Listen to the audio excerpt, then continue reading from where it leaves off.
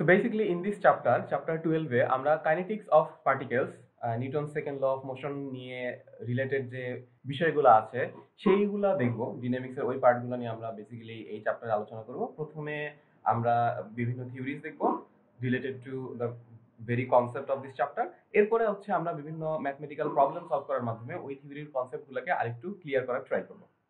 আচ্ছা তো এখন আমরা সামনের দিকে আগাই। তো প্রথমতই আমাদেরকে বেসিক্যালি ইন্ট্রোডিউস করার জন্য জানা দরকার যে নিউটনস সেকেন্ড ল অফ মোশনটা বেসিক্যালি কি।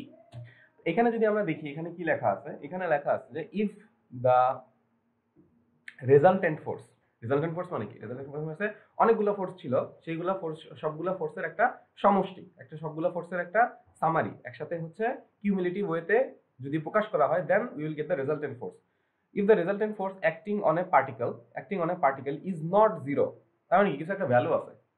কারণ ভ্যালু না থাকলে তো বেসিক্যালি কিছু হবে না। Is not zero the particle will have an acceleration proportional to the magnitude of the resultant and in direction of the resultant force তো বেসিক্যালি রেজাল্টেন্ট ফোর্স যেটা আছে, সেই রেজাল্টেন্ট ফোর্সটার কারণেই অন্য পার্টিকুলার কোনো বডিতে একটা এক্সেলারেশন আসবে এবং কি পরিমাণ এক্সেলারেশন আসবে, সেটার ডিপেন্ড করবে কার উপরে, কি পরিমাণ রেজাল্টেন্ট ফোর্স আমি দিয়েছিলাম সেটার উপরে।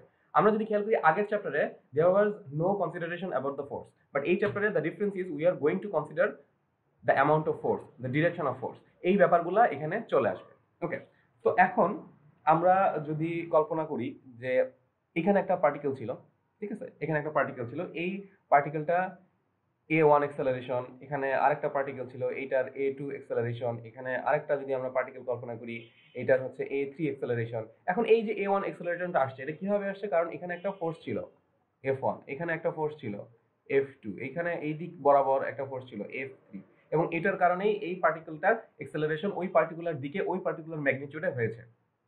তো এখন যদি আমরা এই প্রত্যেকটা ফোর্স আর এক্সেলারেশনের রেশিও নেই ফোর্স বাই এ ওয়ান এই প্রত্যেকটা রেশিও সমান হবে।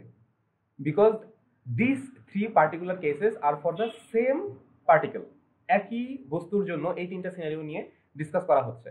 F one F two F three divided by a three এই রেশিওটা যদি নেই, তাহলে আমরা পাবো basically the mass of the body ঠিক আছে? আমরা পাবো the mass of the body so basically F force equals to mass into acceleration এখন, এখানে একটা পার্টিকেল বস্তু ছিল। একটা ফোর্স কাজ করছে, একটা এক্সেলারেশন আসছে, একটা নির্দিষ্ট ম্যাগনিটিউডে একটা নির্দিষ্ট ডিরেকশনে বাট যদি আমরা চেঞ্জ করি, কি চেঞ্জ করব? আমরা যদি হচ্ছে অনেকগুলো ফোর্স দিই একটা পার্টিকুলার তখন কি হবে? ওই অনেকগুলো ফোর্স একটা পার্টিকুলার বস্তুর উপরে কাজ করার পরে ইভেনচুয়ালি তো একটা রেজাল্টেন্ট ফোর্স আসবে। তারপর সেই রেজাল্টেন্ট ফোর্সটার কারণে ওই পার্টিকুলার বস্তুটার একটা এক্সেলারেশন আসবে। সেটা আসবে একটা নির্দিষ্ট ম্যাগনিটিউডে এবং একটা নির্দিষ্ট ডিরেকশনে তো আমরা এখান থেকে ফার্দার লিখতে পারি, যদি অনেকগুলো ফোর্স একসাথে কাজ করে, তাহলে summation of all those forces is also equals to M A ঠিক আছে? ওকে এরপরে আমরা আরও সামনের দিকে আগাই। তো now we are going to be discussing about the linear momentum of a particle linear momentum of a particle তো লিনিয়ার মোমেন্টাম বলতে বেসিক্যালি কি বোঝাচ্ছে? মোমেন্টাম কি? মোমেন্টাম হচ্ছে ভর আর বেগের যে গুণফল, সেইটা। তো আমরা যদি আগের এতক্ষণ ধরে যেটা লিখলাম summation of force equals to হচ্ছে এম এ আচ্ছা আমরা আগে দেখে আসছি এই অ্যাক্সেলারেশনকে we can express it in terms of velocity like this M DV divided by DT okay আমরা এটাকে আরও এভাবে লিখতে পারি summation of force equals to DDT of M V তো এই যে এম ভি চলে আসলো, এই এম ভিটাই বেসিক্যালি হচ্ছে momentum and we can express it like DDT of L এখন এই এল এর ডিফারেন্সিয়েশন এই এল এর ডিফারেন্সিয়েশন যদি হচ্ছে করা হয়, তাহলে পাওয়া যাবে সামেশন অফ এফ এটাকে আমরা এক্সপ্রেস করতে পারি এল ডট এইভাবে। Which means that it was differentiated once with respect to time. এখানে আরেকটা খেয়াল করার বিষয়, সেখানে এই যে আমরা মাসের কথা বলছি মাসটা কিন্তু অলওয়েজ কনস্ট্যান্ট সো এই particular equation is only going to be applicable when the mass is constant এখন মাস কনস্ট্যান্ট না কখন? কোশ্চেন আসতে পারে। মাস কনস্ট্যান্ট না কখন? ফর এক্সাম্পল একটা রকেট রকেট উপরের দিকে যাচ্ছে। তো এই রকেটটা যখন যাচ্ছে, তখন কিন্তু রকেটের ফুয়েল পিছন দিয়ে বের হয়ে যাচ্ছে, ঠিক আছে? কিছু পরিমাণ ফুয়েল লস হচ্ছে। তো ইভেনচুয়ালি কিন্তু মাসটা আস্তে আস্তে কমে যাচ্ছে। তো ইন দোজ পার্টিকুলার কেসেস যখন হচ্ছে মাসটা কনস্ট্যান্ট না মাস হচ্ছে কোনো কারণে বাড়ছে বা কমছে ইন দোজ কেসেস এটা কিন্তু অ্যাপ্লিকেবল হবে না। তো এইটা মাথায় রেখে সামনের দিকে আগাতে হবে in terms of this particular concept আচ্ছা এখন আরেকটা এখান থেকে চলে আসে একটা বিষয়, সেটা হচ্ছে আমরা কি লিখলাম? আমরা লিখলাম সামেশন অফ ফোর্স ইকুয়ালস হচ্ছে ডিডিটি অফ এল এটা লিখছি, তাই না?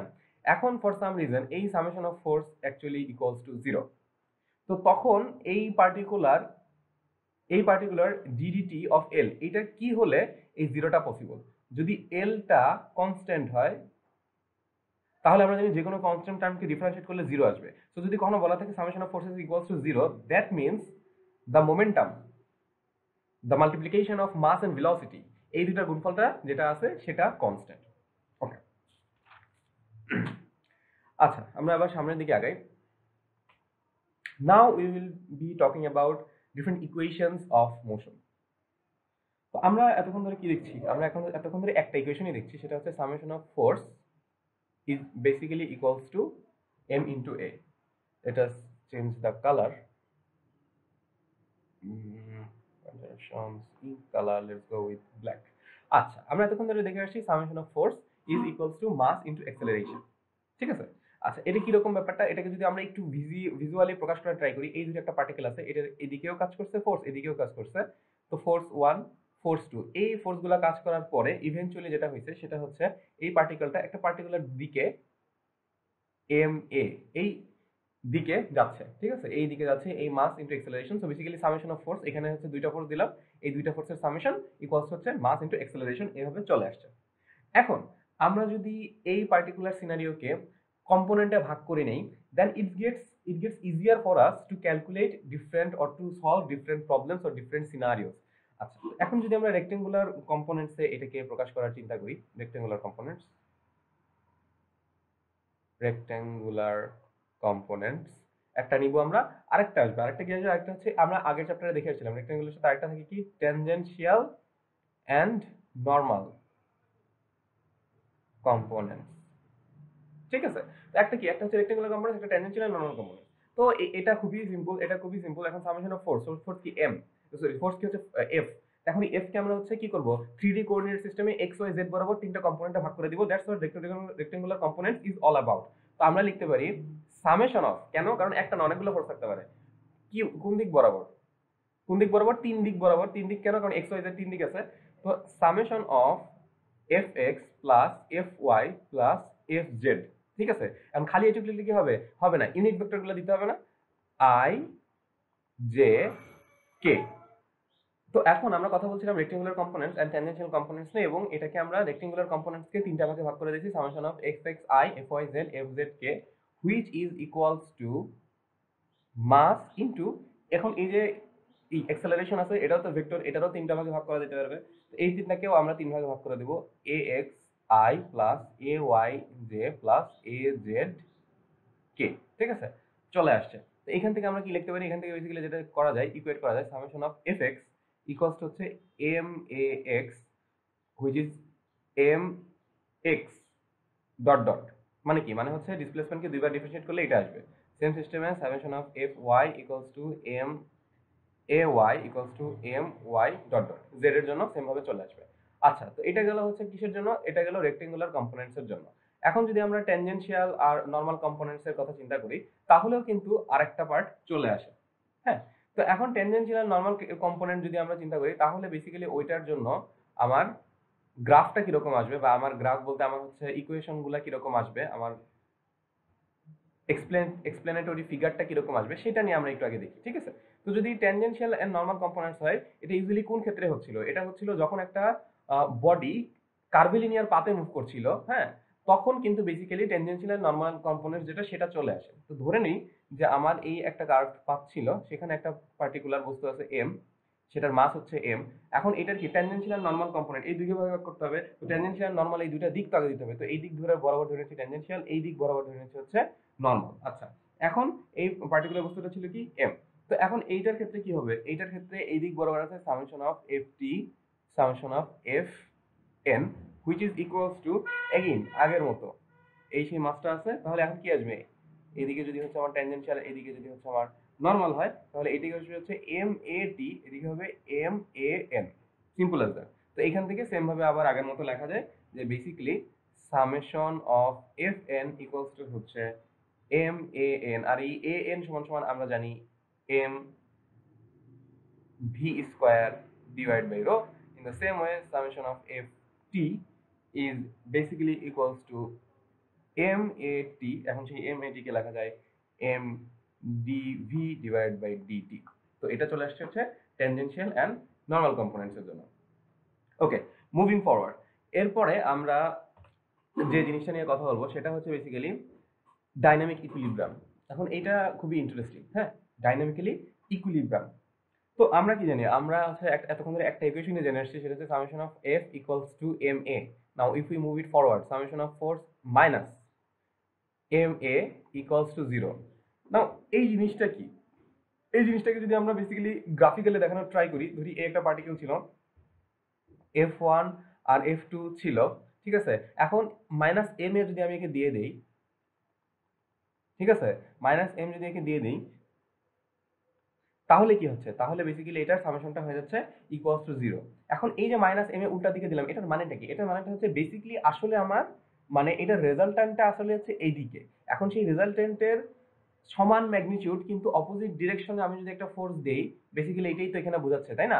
যদি দেই, তাহলে কিন্তু টোটাল যে সামেশনটা সেটা কি আসে? সেটা জিরো চলে আসে। তো এই জিনিসটাই এখানে দেখানো হচ্ছে যে একটা ইকুইলিব্রাম পজিশনে চলে আসছে। এখন এই যে মাইনাস এম এটা আমরা দিলাম এইটাকে বেসিক্যালি বলে হচ্ছে ইনারশিয়া ভেক্টর এইটা হচ্ছে ইনার্শিয়া ভেক্টর ঠিক আছে? এখন সেই ইনার্শিয়া ভেক্টরকে যদি আমরা ইনক্লুড করি, তাহলে ডাইনামিক ইকুইলিব্রিয়ামের ক্ষেত্রে আমরা লিখতে পারি summation of F X equals to zero summation of F Y is equals to zero ঠিক আছে?